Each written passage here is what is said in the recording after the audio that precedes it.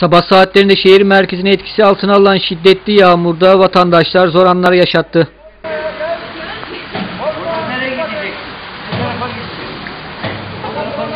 Yağmura hazırlıksız yakalanan vatandaşların ıslandığı görüldü.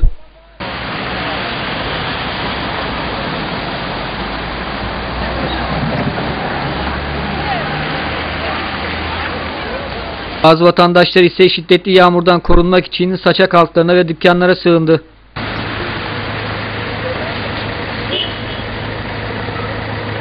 Otobüs ve araçlardan inen vatandaşların ıslanmamak için koşturduğu görüldü. Bazı vatandaşlar ise yağan şiddetli yağmuru aldırmadan yollarına devam etti. Gölde yağmurun yarın yerini kar yağışına bırakması bekleniyor. İnegöl'de şiddetli yağmur yolları göle çevirdi.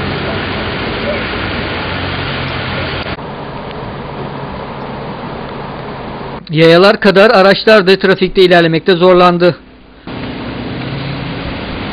Okul önlerinde biriken su birikintileri nedeniyle öğrenciler kapıdan geçmek için büyük çaba harcadı.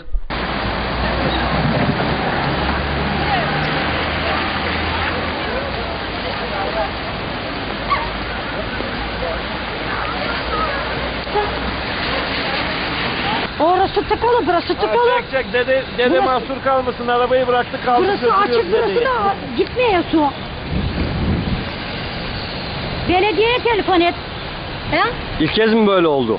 Yeni oldu ya, ondan da böyle bir kere bir battan böyle lavmadır, hiç su gelmedi. Kaç seneden beri gülüm bakılmıyor ki buraya.